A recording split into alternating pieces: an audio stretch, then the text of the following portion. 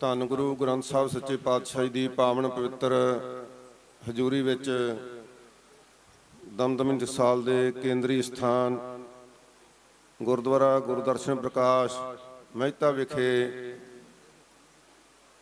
ਜੂਨ 1984 ਦੇ ਕਲੂਘਾਰੇ ਦੀ ਸਲਾਨਾ ਯਾਦ ਮਨਾਉਣ ਲਈ ਇਕੱਤਰ ਹੋਏ ਗੁਰੂ ਖਾਲਸਾ ਜੀ ਸਰਬੱਤ ਸੰਗਤ ਗੱਜ ਕੇ ਫਤਿਹ ਬੁਲਾਓ। ਵਾਹਿਗੁਰੂ ਜੀ ਕਾ ਖਾਲਸਾ। ਵਾਹਿਗੁਰੂ ਜੀ ਕੀ ਫਤਿਹ। ਬਹੁਤ ਸਾਰੀਆਂ ਵਿਚਾਰਾਂ ਵਿਦਵਾਨਾਂ ਨੇ, ਮਹਾਪੁਰਖਾਂ ਨੇ।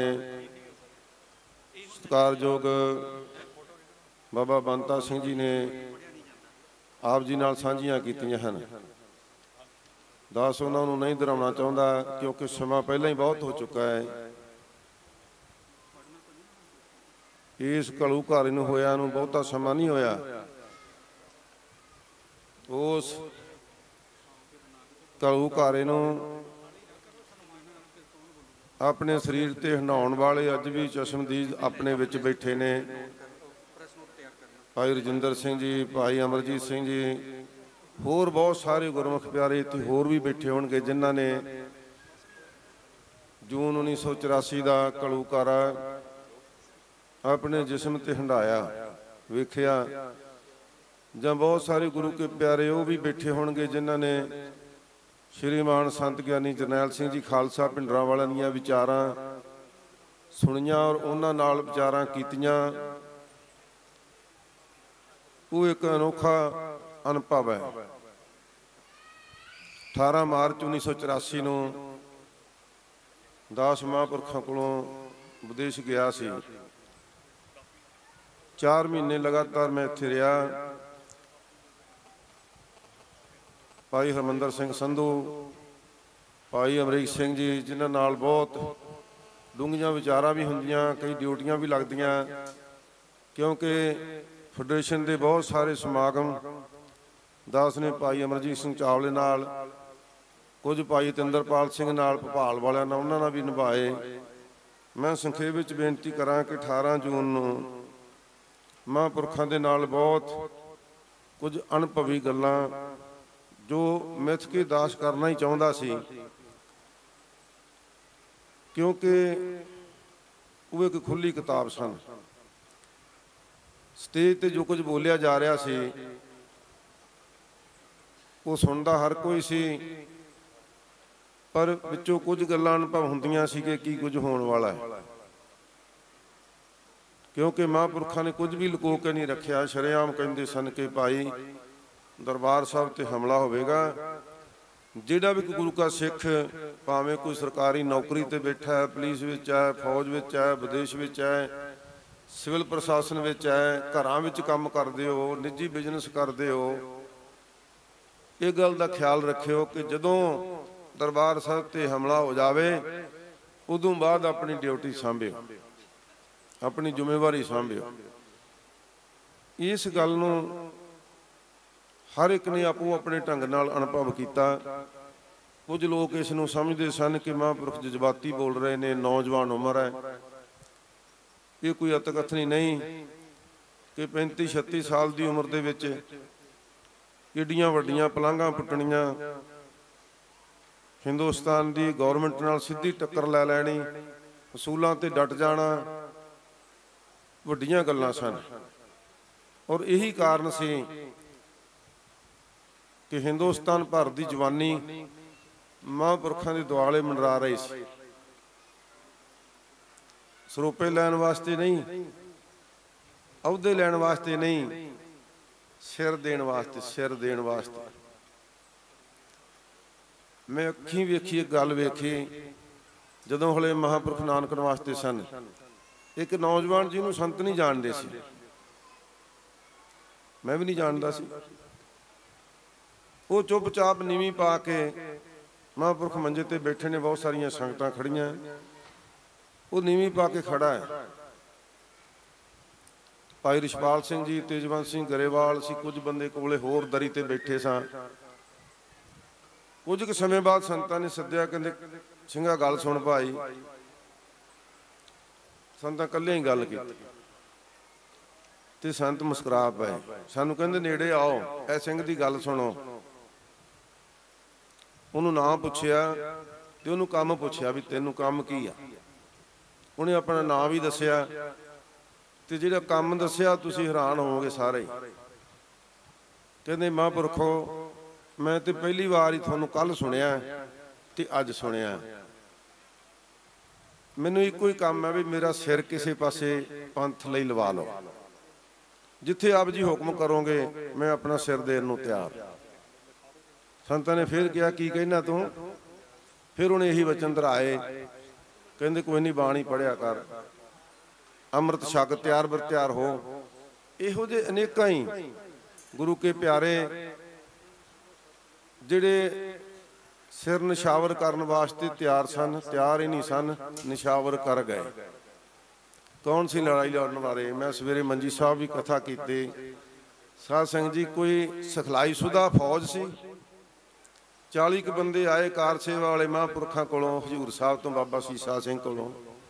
ਕੁਝ ਵਾਲੇ ਬੱਚੇ ਹੀ ਨੇ, ਕੁਝ ਬਜ਼ੁਰਗ ਨੇ। ਪਰ ਇੱਕ ਮਨ ਵਿੱਚ ਤਮੰਨਾ ਹੈ ਕਿ ਸਾਡਾ ਜਰਨੈਲ ਸਾਡੀ ਕੰਨ ਤੇ ਹੈ। ਉਹਦੀ ਸ਼ਕਤੀ ਸਾਡੇ ਨਾਲ ਹੈ। ਆਹ ਇੱਕੋ ਬਚਨ ਸਾਧ ਸੰਗਤ ਹਰ ਇੱਕ ਨੂੰ ਇੱਕ ਤੋਂ ਮੋਹਰੇ ਹੋ ਕੇ ਲੜਨ ਦਾ ਜਜ਼ਬਾ ਪੈਦਾ ਕਰੀ ਬੈਠਾ ਸੀ। ਜਿਹਨੂੰ ਗੁਰਦੇਵ ਸਿੰਘ ਡੀਸੀ ਨੇ ਅਨੁਭਵ ਕਰ ਲਿਆ ਸੀ। ਕਿਉਂਕਿ ਉਹ ਜ਼ਿਲ੍ਹੇ ਦਾ ਡੀਸੀ ਸੀ, ਉਹਦੇ ਕੋਲ ਰੋਜ਼ ਦੀ ਸੀਆਈਡੀ ਸੀ।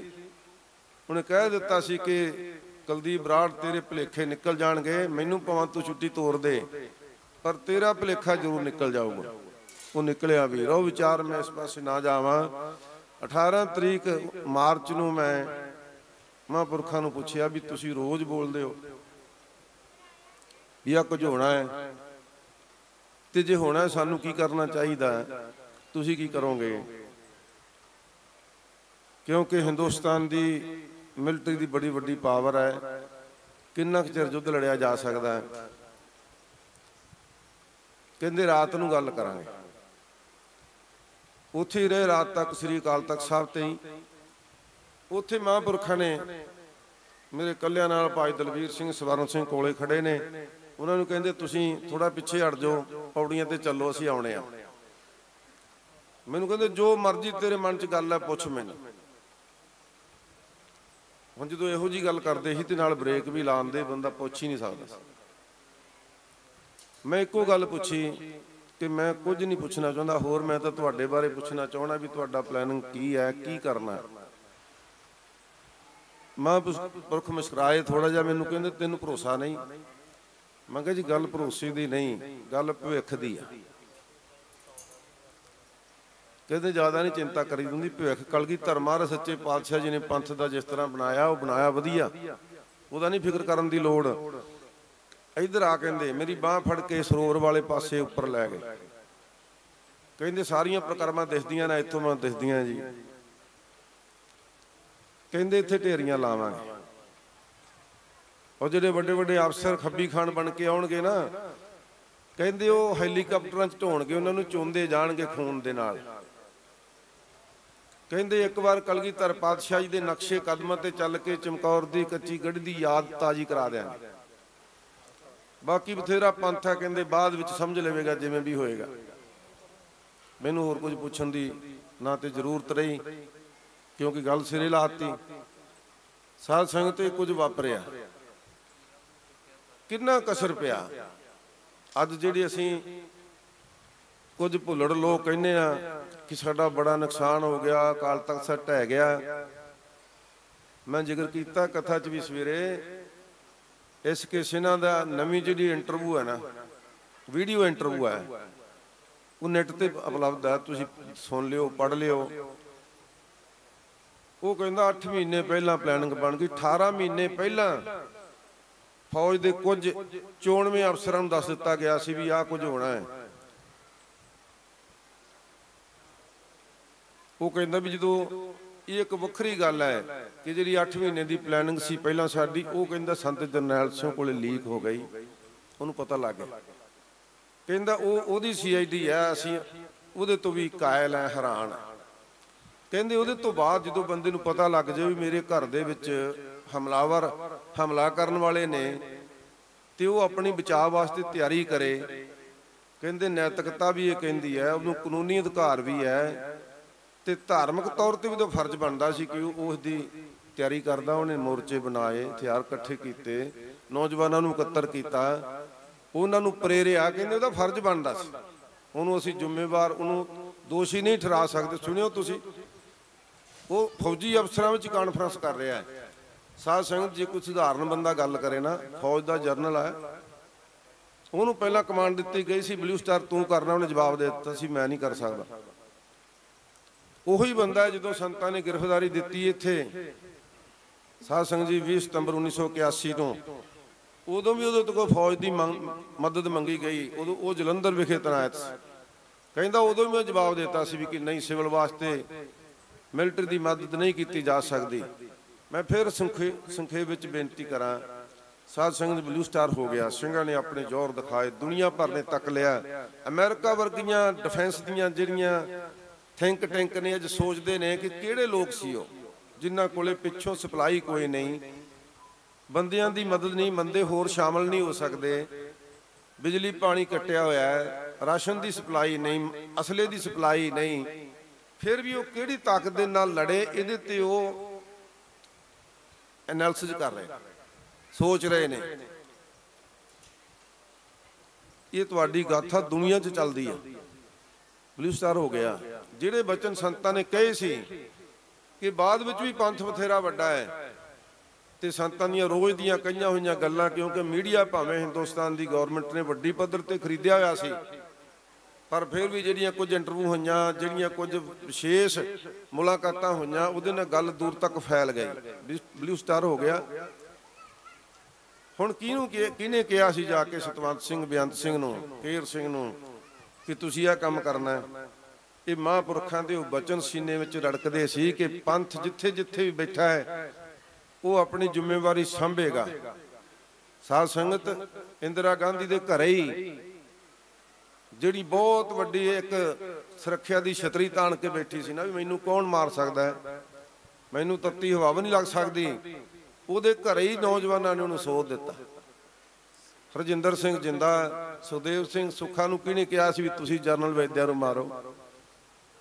ਉਹ ਜਿਹੜੇ ਬਚਨ ਮਹਾਂਪੁਰਖਾਂ ਦੀ ਰਹਿਨਮਾਈ ਥੱਲੇ ਸੁਣੇ ਸਨ, ਉਹਨਾਂ ਨੇ ਸਾਧ ਸੰਗਤ ਉਹਨਾਂ ਨੇ ਜਰਨਲ ਨੂੰ ਟਿਕਾਣਾ ਵੀ ਲੱਭ ਲਿਆ, ਉਹਨੂੰ ਸੋਧ ਵੀ ਦਿੱਤਾ। ਤੇ ਲੰਮਾ ਸਮਾਂ ਜੇਲ੍ਹ ਦੇ ਵਿੱਚ ਰਹਿੰਦਿਆਂ ਹੋਇਆਂ ਥਿੜਕੇ ਨਹੀਂ, ਤਸ ਤੋਂ ਮਸ ਨਹੀਂ ਹੋਏ। ਕਹਿੰਦੇ, ਨਹੀਂ, ਅਸੀਂ ਮਾਰਿਆ ਨੂੰ ਜੱਜ ਵੀ ਕਹਿ ਰਿਹਾ ਵੀ, ਤੁਸੀਂ ਕਿਉਂ ਬੋਲਦੇ ਹੋ? ਵਕੀਲ ਬੋਲੇਗਾ ਕਹਿੰਦੇ, ਵਕੀਲ ਕਰੇਗਾ ਕਾਨੂੰਨੀ ਗੱਲ। ਅਸੀਂ ਕਰਨੀ ਜਜ਼ਬਾਤੀ ਤੇ ਧਾਰਮਿਕ ਗੱਲ। ਸਾਡੇ ਧਰਮ ਤੇ ਜਿਹਨੇ ਹਮਲਾ ਕੀਤਾ, ਉਹਦੀ ਧੌਣ ਤੇ ਗੋਡਾ ਰੱਖ ਕੇ ਅਸੀਂ ਉਹਦਾ ਕਤਲ ਕੀਤਾ। ਅਦਾਲਤ 'ਚ ਗੱਲਾਂ ਕਹਿ ਦੇਣੀਆਂ, ਮੰਨ ਲੈ ਜਜ਼ਬਾਤੀ ਹੋ ਸਕਦੀਆਂ ਪਰ ਸਾਲਾਂ ਬੱਧੀ ਜਜ਼ਬਾਤ ਨਹੀਂ ਰਹਿੰਦੇ ਹੁੰਦੇ। ਫਾਂਸੀ ਦੇ ਰੱਸਿਆਂ ਤੱਕ ਹੱਸ ਕੇ ਕਹਿ ਦੇਣਾ, ਸਾਧ ਸੰਗਤ ਤੇ ਪ੍ਰਾਪਤੀ ਆ ਤੁਹਾਡੇ ਯੁੱਧ ਦੀ, ਇੱਥੇ ਬਸ ਨਹੀਂ। ਦੁਨੀਆ ਭਰ ਦੇ ਵਿੱਚ ਜਿੱਥੇ ਕੋਈ ਪੱਗ ਬੰਨਣ ਨੂੰ ਤਿਆਰ ਨਹੀਂ ਸੀ ਦਾੜੀ ਰੱਖਣ ਨੂੰ ਤਿਆਰ ਨਹੀਂ ਸੀ, ਉਹਨਾਂ ਲੋਕਾਂ ਨੇ ਦਮਾਲੇ ਸਜਾਏ, ਅੰਮ੍ਰਿਤਧਾਰੀ ਹੋਏ ਖਾਲਸੇ ਪੰਥ ਦੀ ਜਿਹੜੀ ਫਲਵਾੜੀ ਸੀ, ਉਹ ਦੁਨੀਆ ਵਿੱਚ ਪ੍ਰਗਟ ਹੋਈ, ਫੈਲੀ। ਇਹ ਤੁਹਾਡੀ ਪ੍ਰਾਪਤੀ ਹੈ। ਇੱਥੇ ਹੀ ਬਸ ਨਹੀਂ, ਅੱਜ ਦਮਾਲਿਆਂ ਵਾਲੇ ਸਿੰਘ ਵੱਡੀਆਂ ਵੱਡੀਆਂ ਕੰਟਰੀਆਂ ਦੇ ਵਿੱਚ, ਡੈਮੋਕ੍ਰੈਟਿਕ ਕੰਟਰੀਆਂ ਦੇ ਵਿੱਚ ਵੱਡੀਆਂ ਪਾਰਟੀਆਂ ਦੇ ਦਮਾਲਾ ਧਾਰੀ ਗੁਰੂ ਕੇ ਸਿੱਖ ਪ੍ਰਧਾਨ ਨੇ। ਐਮਪੀ ਹੈ। ਉਥੋਂ ਦੇ ਵਜ਼ੀਰ ਬਣੇ ਹੋਏ ਨੇ। ਇੱਕ ਆਦੀਆਂ ਸਾਧ ਸੰਗਤ ਜੀ, ਇਹ ਸੰਤ ਬਾਬਾ ਜਰਨੈਲ ਸਿੰਘ ਖਾਲਸਾ ਦੀਆਂ ਕੀਤੀਆਂ ਹੋਈਆਂ ਤਕਰੀਰਾਂ ਦੀ ਪ੍ਰਾਪਤੀ ਹੈ। ਭੁੱਲ ਸਕਦੀਆਂ ਕਿਤੇ? ਇੱਕ ਗੱਲ ਜ਼ਰੂਰੀ ਮੈਂ ਕਹਿਣੀ ਚਾਹਣਾ ਹੈ ਕਿ ਇਹ ਇੱਕ ਮੀਲ ਪੱਥਰ ਸੀ ਕਿ ਕਿਸੇ ਨੇ ਵੱਡੇ ਵੱਡੇ ਭਗਤ ਪੂਰਨ ਸਿੰਘ ਵਰਗਿਆਂ ਨੇ ਆਪਣੇ ਅਵਾਰਡ ਵਾਪਸ ਕਰ ਦਿੱਤੇ। ਵੱਡੇ ਵੱਡੇ ਸਿੱਖ ਅਫੀਸਰਾਂ ਨੇ ਰਾਜਦੂਤ ਤੱਕ ਦੇ ਅਹੁਦੇ ਤਿਆਗ ਦਿੱਤੇ। ਫੌਜ ਦੇ ਵਿੱਚ ਸਧਾਰਨ ਵਿਅਕਤੀਆਂ ਨੇ ਬੈਰਕਾਂ ਛੱਡ ਦਿੱਤੀਆਂ। ਜਿਨ੍ਹਾਂ ਨੇ ਇੱਕ ਤਨਖਾਹ ਦੇ ਉੱਪਰ ਆਪਣਾ ਪਰਿਵਾਰ ਪਾਲਣਾ ਹੁੰਦਾ ਹੈ। ਸਾਧ ਸੰਗਤ ਜੀ, ਉਹ ਸਭ ਕੁਝ ਤਿਆਗ ਕੇ ਜਿਨ੍ਹਾਂ ਨੂੰ ਪੰਥ ਨੇ ਧਰਮੀ ਫੌਜੀਆਂ ਦਾ ਨਾਮ ਦਿੱਤਾ, ਉਹ ਕੋਈ ਛੋਟੀ ਗੱਲ ਸੀ ਕਿਤੇ? ਗਵਰਨਮੈਂਟ ਦੇ ਥੰਮੇ ਗਏ ਸੀ ਕਿ ਜੇ ਏਡੀ ਵੱਡੀ ਪੱਧਰ ਤੇ ਬਗਾਵਤ ਹੁੰਦੀ, ਦੋ ਦਿਨ ਕਿਤੇ ਯੁੱਧ ਹੋਰ ਹੋ ਜਾਂਦਾ ਨਾ, ਦੋ ਦਿਨ। ਤੇ ਹਿੰਦੁਸਤਾਨ ਦਾ ਨਕਸ਼ਾ ਕੁਝ ਹੋਰ ਹੋਣਾ ਸੀ। ਪਰ ਇਹ ਜੋ ਅਕਾਲ ਪੁਰਖ ਨੇ ਉਲੀਕਿਆ ਪ੍ਰੋਗਰਾਮ ਹੈ, ਹੋਣਾ ਤੇ ਉਵੇਂ ਹੀ ਹੈ। ਇੱਕ ਗੱਲ ਅਸੀਂ ਦਾਅਵੇ ਨਾਲ ਕਹਿ ਸਕਦੇ, ਇਹ ਸ਼ਹਾਦਤਾਂ ਕਿਤੇ ਜਾਈ ਜਾਣਗੀਆਂ। ਸਮਾਂ ਹੁੰਦਾ ਸਮਾਂ ਵੱਧ ਘੱਟ ਲੱਗ ਜਾਂਦਾ, ਉਹ ਲੱਗ ਰਿਹਾ ਹੈ। ਸਾਡੇ ਵਿੱਚ ਵੀ ਬਹੁਤ ਵਾਰੀ ਨਿਰਾਸ਼ਤਾ ਆ ਜਾਂਦੀ ਹੈ ਕਿ ਅੱਜ ਸਾਨੂੰ ਸੰਤ ਜਰਨੈਲ ਸਿੰਘ ਵਰਗਾ ਆਗੂ ਨਹੀਂ ਲੱਭ ਰਿਹਾ। ਸਾਧ ਸੰਗਤ ਤੋਂ ਕਲਗੀਧਰ ਮਹਾਰਾਜ ਨੇ ਆਪੇ ਹੀ ਕਿਰਪਾ ਕਰਨੀ, ਆਪੇ ਹੀ ਰਹਿਮਤ ਕਰਨੀ ਹੈ। ਉਹ ਭਵਕ ਫਿਰ ਸਾਨੂੰ ਸੁਣੇਗੀ, ਜਿਹਦੇ ਤੋਂ ਸਾਡੀਆਂ ਆਸਾਂ ਤੇ ਉਮੀਦਾਂ ਕਲਗੀਧਰ ਪਾਤਸ਼ਾਹ ਨੇ ਪੂਰੀਆਂ ਕਰਨੀਆਂ। ਸਿੱਖ ਤਰਾਨੇ ਗਾਉਂਦੇ ਸੀ ਭਾਈ ਹਰਚਰਨ ਸਿੰਘ ਮੁਕਤੇ ਵਰਗੇ। ਸਿੱਖ ਰਾਜ ਕਰਨਗੇ ਦੁਨੀਆ ਤੇ ਗੁਰੂ ਨਾਨਕ ਜੀ ਦੇ ਕਹਿਣੇ ਆ। ਸੁਣੀਆਂ ਹੋਣੀਆਂ ਕਵਿਤਾਵਾਂ ਤੁਸੀਂ ਮੁਕਤਾ ਜੀ ਦੀਆਂ। ਆਪ ਸ਼ਹਾਦਤ ਦੇ ਗਏ, ਪਰ ਲਿਖਤਾਂ ਛੱਡ ਗਏ। ਉਹ ਗੱਲਾਂ ਕਿਤੇ ਝੂਠੀਆਂ ਹੋਣੀਆਂ। ਅਵਾਸ਼ੇ ਕੰਮ ਹੋਏਗਾ, ਸਿੱਖ ਦੁਨੀਆ ਤੇ ਰਾਜ ਕਰਨਗੇ। ਇੱਕ ਛੋਟੇ ਜਿਹੇ ਖਿੱਤੇ ਦੀ ਖਾਤਰ ਸਾਨੂੰ ਪਿੰਜਰੇ 'ਚ ਬੰਦ ਕਰਕੇ ਸਾਡੀ ਜੇਨੀਅਤ ਨੂੰ ਪਰਖਿਆ ਗਿਆ। ਸਾਡੀ ਜ਼ਮੀਰ ਨੂੰ ਪਰਖਿਆ ਗਿਆ। ਪਰ ਸਾਧ ਸੰਗਤ, ਇਹ ਸਮੇਂ ਹੁੰਦੇ ਆ। ਸਮੇਂ ਕਿਤੇ ਸਥਿਰ ਨਹੀਂ ਰਹਿੰਦੇ। ਮਹਾਂਪੁਰਖਾਂ ਨੇ ਪੁੱਛਿਆ ਸੀ ਜੇਠ ਮਲਾਨੀ ਨੇ, ਜਿਹੜਾ ਸੁਪਰੀਮ ਕੋਰਟ ਦਾ ਭਾਰਤ ਦੀ ਸੁਪਰੀਮ ਕੋਰਟ ਦਾ ਉਹਗਾ ਵਕੀਲ ਹੈ, ਕਹਿੰਦਾ, ਸੰਤ ਜੀ, ਕੀ ਸਮਝਦੇ ਹੋ ਹਿੰਦੁਸਤਾਨ ਨੂੰ? ਬੜੇ ਸਹਿਜ ਸੁਭਾਅ ਸੰਤ ਬੋਲੇ। ਸੰਧੂ ਪਹਿਲਾਂ ਅੰਗਰੇਜ਼ੀ ਦੇ ਵਿੱਚ ਜਵਾਬ ਦੇਣ ਲੱਗਾ ਆਂਦੇ ਕਿਹੜਾ ਕੋਈ ਅੰਗਰੇਜ਼ ਹੈ? ਇਹਨੂੰ ਮੈਂ ਹੀ ਜਵਾਬ ਦੇ ਦਿੰਦਾ। ਸੰਤਾਂ ਦੇ ਹਿੰਦੁਸਤਾਨ ਕੀ ਹੈ? ਇੱਕ ਧਰਤੀ ਦਾ ਟੁਕੜਾ ਹੈ। ਇੱਥੇ ਜਿਹਦਾ ਝੰਡਾ, ਉਹਦਾ ਸਥਾਨ ਹੈ। ਇੱਥੇ ਕਹਿੰਦੇ, ਮੁਗਲਾਂ ਦਾ ਸੀ ਝੰਡਾ। ਇਹ ਭਾਰਤ ਵਰਸ਼ ਸੀ। ਇੱਥੇ ਅੰਗਰੇਜ਼ਾਂ ਨੇ ਆਪਦਾ ਝੰਡਾ ਕੱਢ ਲਿਆ, ਕਹਿੰਦੇ ਇਹਨੂੰ ਇੰਡੀਆ ਕਹਿਣ ਲੱਗੇ। ਕਹਿੰਦੇ ਹੁਣ ਹਿੰਦੂਆਂ ਦਾ ਰਾਜ ਹੈ ਤੇ ਹਿੰਦੁਸਤਾਨ ਹੈ। ਕੱਲ ਨੂੰ ਕਿਸੇ ਦਾ ਹੋਰ ਹੋਵੇਗਾ, ਸਥਾਨ ਬਦਲ ਜਾਏਗਾ, ਝੰਡੇ ਨਾ ਬਦਲਣਾ, ਕਹਿੰਦੇ ਜਿਹਦਾ ਝੰਡਾ ਉਹਦਾ ਸਥਾਨ ਹੈ। ਬੜਾ ਹੈਰਾਨ ਹੋਇਆ। ਕਹਿੰਦਾ, ਸੰਤ ਜੀ, ਜੇ ਕੋਈ ਬਾਹਰੀ ਸ਼ਕਤੀ ਆ ਕੇ ਹਿੰਦੁਸਤਾਨ ਤੇ ਹਮਲਾ ਕਰਦੀ ਹੈ, ਤੁਸੀਂ ਕਿਹਦਾ ਸਾਥ ਦਿਓਗੇ? ਸੰਤਾਂ ਦੇ ਵੇਖਾਂਗੇ, ਮਜਲੂਮ ਕੌਣ ਹੈ? ਜ਼ਾਲਮ ਕੌਣ ਹੈ? ਜਿੱਤੇ ਭਾਰਤ ਜ਼ਾਲਮ ਹੋਇਆ, ਮਜਲੂਮ ਤੇ ਧੱਕਾ ਕਰਦਾ ਹੋਇਆ ਤੇ ਉਹਦਾ ਸਾਥ ਦੇਵਾਂਗੇ। ਜੇ ਭਾਰਤ ਮਜਲੂਮ ਹੋਇਆ ਤੇ ਹਮਲਾਵਰ ਕੋਈ ਜ਼ਾਲਮ ਹੋਇਆ ਤੇ ਫਿਰ ਭਾਰਤ ਦਾ ਸਾਥ ਦੇਵਾਂਗੇ। ਮਜਲੂਮ ਦਾ ਸਾਥ ਦੇਵਾਂਗੇ ਚੁੱਪ ਹੋ ਗਿਆ। ਸਾਧ ਸੰਗਤ ਜੀ, ਇਹ ਗੱਲਾਂ ਅਚਾਨਕ ਨਹੀਂ ਹੁੰਦੀਆਂ। ਇਹ ਜਨਮਾਂ ਜਨਮਾਤਰਾਂ ਦੀ ਭਗਤੀ ਹੁੰਦੀ ਹੈ। ਜਿਹੜੀ ਇਹ ਭਗਤੀ ਕਦੇ ਸਦੀਆਂ ਬਾਅਦ ਉਜਾਗਰ ਹੁੰਦੀ ਹੈ, ਜਿਹੜੀ ਸਾਡੇ ਸਾਹਮਣੇ ਉਜਾਗਰ ਹੋਈ, ਅੱਜ ਉਹਨਾਂ ਦੀ ਯਾਦ ਵਿੱਚ ਆਪਾਂ ਸਾਰੇ ਉਹਨਾਂ ਦੇ ਸੰਗੀ ਸਾਥੀ, ਮਝੋਲੀ ਇਕੱਤਰ ਹੋਏ ਆ, ਦਮਦਮੀ ਟਕਸਾਲ ਨਾਲ ਸੰਬੰਧਿਤ ਸਾਰੇ ਇਕੱਤਰ ਹੋਏ ਆ। ਮੈਂ ਅਖੀਰ ਵਿੱਚ ਇੱਕ ਬੇਨਤੀ ਕਰਾਂਗਾ, ਇੱਥੇ ਦਮਦਮੀ ਟਕਸਾਲ ਵਿੱਚ ਪੜਨ ਵਾਲੇ ਵਿਦਿਆਰਥੀਆਂ ਲਈ। ਤੁਸੀਂ ਸਾਰੇ ਸਾਡੇ ਭਰਾ ਹੋ। ਕੁਝ ਉਮਰ 'ਚ ਵੱਡੇ ਆ, ਕੁਝ ਬਰਾਬਰ ਦੇ, ਕੁਝ ਛੋਟੇ ਵੀ ਆ। ਅੱਜ ਕੱਲ ਫੇਸਬੁੱਕ ਬੁੱਕ ਦਾ ਜ਼ਮਾਨਾ। ਕਿਸੇ ਨੂੰ ਵੀ ਅਪਸ਼ਬਦ ਨਾ ਵਰਤੋ, ਕਿਸੇ ਨੂੰ ਨਾ ਵਰਤੋ। ਆਪਣੀ ਬਹੁਤ ਵੱਡੀ ਜ਼ਿੰਮੇਵਾਰੀ ਹੈ। ਇਹ ਬਾਬਾ ਦੀਪ ਸਿੰਘ ਜੀ ਦੀ ਟਕਸਾਲ ਹੈ। ਆਪਾਂ ਆਪਣੀ ਜ਼ਿੰਮੇਵਾਰੀ ਤੋਂ ਕੰਮ ਲੈਣਾ ਹੈ। ਸਾਧ ਸੰਗਤ ਜਿਹੜਾ ਕੋਈ ਆਪਣੇ ਲਈ ਬਕਵਾਸ ਮਾਰੇਗਾ, ਗਲਤ ਅਪਸ਼ਬਦ ਬੋਲੇਗਾ, ਉਹਨੂੰ ਸੰਭਾਲ ਲਿਆ ਜਾਏਗਾ। ਅੱਜ ਕੱਲ ਦਾ ਜ਼ਮਾਨਾ ਬੜਾ ਤੇਜ਼ ਤਰਾਰ ਹੈ। ਕਈ ਲੋਕ ਹੀ ਇਹੋ ਜਿਹੇ ਹੁੰਦੇ ਆ ਵੀ ਇਹਨਾਂ ਦੇ ਮੂੰਹ 'ਚ ਗੱਲ ਪਾਓ, ਭਲਾ ਕਿਦਾਂ ਦੀ ਬੋਲਦੇ ਜੀ। ਆਪਾਂ ਵੀ ਉਹੀ ਬੋਲੀ ਬੋਲਾਂਗੇ, ਫ਼ਰਕ ਕੀ ਰਹਿ ਜਾਏਗਾ। ਇਹ ਟਕਸਾਲ ਹੈ ਤੁਸੀਂ ਘੜੇ ਹੋਏ ਆ, ਇਸ ਟਕਸਾਲ 'ਚ ਘੜੇ ਹੋਏ ਛਿੱਕੇ ਆ ਤੁਸੀਂ। ਕੇਵਲ ਸਿੱਕੇ ਨਹੀਂ ਘੜੇ, ਮਨੁੱਖਤਾ ਘੜੀ ਹੋਈ ਹੈ ਸਾਡਾ ਫ਼ਰਕ ਦਿਸਣਾ ਚਾਹੀਦਾ। ਇਸ ਵਾਸਤੇ ਸਾਡੇ ਰਾਗੀ, ਸਾਡੇ ਵਿਦਵਾਨ, ਸਾਡੇ ਪਾਠੀ, ਸਾਡੇ ਗਿਆਨੀ ਈਵਨ ਸਾਡਾ ਦੋਜੀ ਗਜਾ ਕਰਨ ਵਾਲਾ, ਸਾਡਾ ਲਾਂਗਰੀ, ਖੁਰਪੇ ਵਾਲਾ, ਸਭ ਦੀ ਬੋਲੀ ਸਾਡੀ ਟਕਸਾਲੀ ਚਾਹੀਦੀ। ਟਕਸਾਲੀ ਬੋਲੀ ਤੋਂ ਆਪਾਂ ਪਾਸੇ ਨਾ ਆਵੋ ਸਤਿਗੁਰੂ ਦੀ ਬਹੁਤੀ ਰਹਿਮਤ ਹੋਣੀ ਹੈ ਕਿਰਪਾ ਹੋਣੀ ਹੈ ਸੋ ਮੈਂ ਬਹੁਤਾ ਕੁਝ ਨਾ ਕਹਿੰਦਾ ਹੋਇਆ। ਸਤਿਕਾਰਯੋਗ ਬਾਬਾ ਹਰਨਾਮ ਸਿੰਘ ਜੀ ਖਾਲਸਾ ਜੀ ਦਾ ਧੰਨਵਾਦ ਕਰਦਾ ਇਹੋ ਜੀ ਮਹਾਮਾਰੀ ਦੇ ਵਿੱਚ ਵੀ ਜਿਨ੍ਹਾਂ ਨੇ ਇਹ ਪ੍ਰਬੰਧ ਕਰਕੇ ਸ਼ਹੀਦੀ ਸਾਕੇ ਨੂੰ ਮਨਾਉਣ ਦਾ ਉਪਰਾਲਾ ਕੀਤਾ ਹੈ। ਸਾਰੇ ਜਥੇਬੰਦੀ ਨੇ ਮਿਲ ਕੇ ਬਹੁਤ ਵੱਡਾ ਸਹਿਯੋਗ ਦਿੱਤਾ ਜਿੰਨੇ ਵੀ ਗੁਰਮੁਖ ਪਿਆਰੇ ਆਏ ਨੇ, ਸਭ ਦਾ ਧੰਨਵਾਦ। ਭੁੱਲਾਂ ਚੁੱਕਾਂ ਦੀ ਖਿਮਾ ਬਖਸ਼ੋ। ਸਰਬੱਤ ਸੰਗਤ ਗੱਜ ਕੇ ਫਤਿਹ ਬੁਲਾਓ। ਵਾਹਿਗੁਰੂ ਜੀ ਕਾ ਖਾਲਸਾ। ਵਾਹਿਗੁਰੂ ਜੀ ਕੀ ਫਤਿਹ। ਸਿੰਘ ਸਾਹਿਬ ਜੀ ਦਾ ਸਨਮਾਨ ਕੀਤਾ ਜਾ ਰਿਹਾ ਹੈ। ਬਹੁਤ ਬਹੁਤ ਧੰਨਵਾਦ ਮਹਾਂਪੁਰਸ਼ਾਂ ਵੱਲੋਂ। ਬੋਲੇ ਸੋ ਨਿਹਾਲ। ਸ਼੍ਰੀਮਾਨ ਸੰਤ ਪ੍ਰੀਤਮ ਸਿੰਘ ਜੀ ਗੁਰਦੁਆਰਾ ਭਗਤਾਂ ਦਰਸਿੱਕੇ ਤੋਂ ਉਹਨਾਂ ਵੱਲੋਂ ਬਹੁਤ ਹੀ ਸਨਮਾਨਯੋਗ ਗਿਆਨੀ ਗੁਰਦੇਵ ਸਿੰਘ ਜੀ ਪਹੁੰਚੇ ਹਨ। ਬਹੁਤ ਬਹੁਤ ਧੰਨਵਾਦ। ਪੰਥ ਦੇ ਮਹਾਨ ਵਿਦਵਾਨ ਭਾਈ ਸਾਹਿਬ ਭਾਈ ਸ਼ਮਸ਼ੇਰ ਸਿੰਘ ਜੀ ਜੇਠੂਵਾਲ, ਉਹ ਵੀ ਸੰਗਤ ਵਿੱਚ ਹਾਜ਼ਰੀ ਭਰ ਰਹੇ ਨੇ। ਸਾਡੇ ਸਤਿਕਾਰਯੋਗ ਜਿੰਨੇ ਵੀ ਪੱਤਰਕਾਰ ਸਾਹਿਬ, ਅਮਰਾਜ ਸਾਹਿਬ, ਜੱਜ ਸਾਹਿਬ ਸਿੰਘ, ਪਾਲ ਸਿੰਘ, ਜੱਜ, ਸਿੰਘ ਸਟੂਡੀਓ ਵਾਲੇ, ਗੁਰਮੁਖ ਪਿਆਰੇ ਸਾਰਿਆਂ ਦਾ ਹੀ ਮਹਾਂਪੁਰਸ਼ਾਂ ਵੱਲੋਂ ਧੰਨਵਾਦ। ਔਰ ਉਦਾਸੀਨ ਅਖਾੜਾ ਬੜਾ ਦੇ ਸ਼੍ਰੀ ਮਹੰਤ ਮਹਾਪੁਰਸ਼, ਮਹੰਤ ਰਘੂ ਮੁਨੀ ਜੀ, ਉਦਾਸੀ ਮਹਾਪੁਰਸ਼, ਉਹਨਾਂ ਦਾ ਫੇਰ ਇੱਕ ਵਾਰੀ ਵਿਸ਼ੇਸ਼ ਤੌਰ ਤੇ ਬਾਬਾ ਜੀ ਵੱਲੋਂ ਬਹੁਤ ਬਹੁਤ ਧੰਨਵਾਦ। ਸੰਗਤ ਦੇ ਚਰਨਾਂ 'ਚ ਬੇਨਤੀ ਹੈ ਕਿ ਜਿੰਨਾ ਵੀ ਸਮਾਗਮ ਹੋਇਆ ਹੈ, ਸਾਰਾ ਹੀ ਦਮਦਮੀ ਟਕਸਾਲ ਟੀਵੀ ਉੱਤੇ, ਭੁੱਲਰ ਟੀਵੀ ਉੱਤੇ, Nagara TV, mister Singh TV, ਆ- ਆਦਿਕ Sangat TV RD sound, Mehta TV, Akal channel TV ਉੱਤੇ ਲਾਈਵ ਚੱਲਦਾ ਪਿਆ ਹੈ। ਔਰ ਸੰਗਤਾਂ ਦੀ ਇੱਕ ਮੰਗ ਸੀ ਕਿ ਦਮਦਮੀ ਟਕਸਾਲ ਦੇ ਸਮਾਗਮ ਦਮਦਮੀ ਟਕਸਾਲ ਦੀਆਂ ਕਥਾਵਾਂ, ਕੀਰਤਨ, ਗੁਰਬਾਣੀ ਪਾਠ, ਸ਼ੁੱਧ ਪਾਠ, ਬੋਧ ਸਮਾਗਮ, ਇਹ ਸਾਨੂੰ ਉਪਲਬਧ ਨਹੀਂ ਹੁੰਦੇ। ਸੋ ਸੰਗਤਾਂ ਦੀ ਬੇਨਤੀ, ਹੁਕਮ ਮੰਨ ਕੇ ਮਹਾਂਪੁਰਖਾਂ ਵੱਲੋਂ Damdami Taksal TV page YouTube ਤੇ ਚੱਲਦਾ ਪਿਆ ਹੈ, ਜਿਹਦੇ ਵਿੱਚ ਤਕਰੀਬਨ 500 ਤੋਂ ਵੱਧ ਸਮਾਗਮ ਨੇ, ਵਿੱਚੇ ਗੁਰਬਾਣੀ ਪਾਠ ਬੋਧ ਦੇ ਸ਼ੁੱਧ ਪਾਠ ਬੋਧ। ਤੁਸੀਂ ਗੁਰਬਾਣੀ ਦੀ ਸੰਥਿਆ ਲੈ ਸਕਦੇ ਹੋ। ਔਰ ਗੁਰਮਤ ਵਿਚਾਰਾਂ ਵੀ ਨੇ, ਸੈਮੀਨਾਰ ਵੀ ਨੇ ਦਮਦਮੀ ਟਕਸਾਲ ਦੇ, ਔਰ ਨਾਲ ਨਾਲ ਮਹਾਂਪੁਰਖਾਂ ਦੀਆਂ ਕਥਾਵਾਂ ਵੀ ਨੇ। ਇਹਨੂੰ ਸਾਰੇ ਨੂੰ ਹੀ ਇੱਕ ਐਪ ਦਾ ਰੂਪ ਵੀ ਦੇ ਦਿੱਤਾ ਗਿਆ ਹੈ ਕਿ ਹਰ ਮੋਬਾਈਲ ਫੋਨ ਦੇ ਵਿੱਚ ਤੁਸੀਂ ਐਪ ਡਾਊਨਲੋਡ ਕਰ ਸਕਦੇ ਹੋ, ਪਰ ਉਹ ਅਜੇ ਗੂਗਲ ਨੇ ਉਹਦੀ ਪਰਮਿਸ਼ਨ ਨਹੀਂ ਦਿੱਤੀ ਕਿਉਂਕਿ ਕਰੋਨਾ ਵਾਇਰਸ ਕਰਕੇ ਜਿਹੜੀਆਂ ਇਕੱਠ ਦੀਆਂ ਫੋਟੋਆਂ ਨੇ, ਉਹ ਅਜੇ ਨਹੀਂ ਅਪਲੋਡ ਹੋਣ ਦਿੰਦੇ।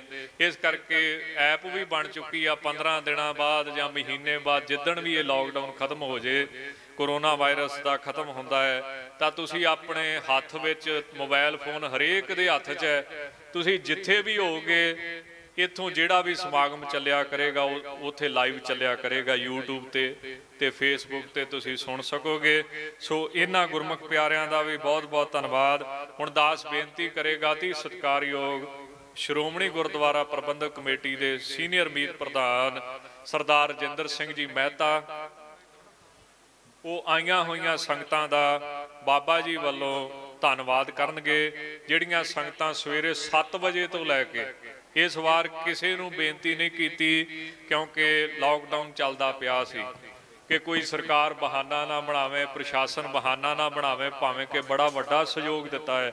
ਪਰ ਫਿਰ ਵੀ ਤੁਸੀਂ ਦੇਖ ਰਹੇ ਸਵੇਰੇ 7 ਵਜੇ ਤੋਂ ਲੈ ਕੇ ਅਜੇ ਤੱਕ ਵੀ ਸੰਗਤਾਂ ਜਿਹੜੀਆਂ ਨੇ ਉਹ ਤੁਰੀਆਂ ਆ ਰਹੀਆਂ ਨੇ ਤੇ ਸੰਗਤ ਦੇ ਚਰਨਾਂ 'ਚ ਬੇਨਤੀ ਕਿ ਬਾਹਰ ਵੀ ਥਾਂ ਭਰ ਚੁੱਕਾ ਹੈ, ਜਿੱਥੇ ਵੀ ਕਿਸੇ ਨੂੰ ਥਾਂ ਮਿਲਦਾ ਸੋਸ਼ਲ ਡਿਸਟੈਂਸ ਬਣਾ ਕੇ ਉੱਥੇ ਬੈਠਣ ਦੀ ਕਿਰਪਾਲਤਾ ਕਰੋ। ਦੀਵਾਨ ਹਾਲ ਦੇ ਵਿੱਚ ਲੰਗਰ ਹਾਲ ਵੀ ਫੁੱਲ ਹੋ ਚੁੱਕਾ ਹੈ। ਸੋ ਇਹ ਬੇਨਤੀ ਪ੍ਰਵਾਨ ਕਰਿਓ। ਸਰਦਾਰ ਰਜਿੰਦਰ ਸਿੰਘ ਜੀ ਮਹਿਤਾ ਮਹਾਂਪੁਰਸ਼ਾਂ ਵੱਲੋਂ ਸਾਰੀਆਂ ਸੰਗਤਾਂ ਦਾ ਧੰਨਵਾਦ ਕਰਨਗੇ। ਸਤ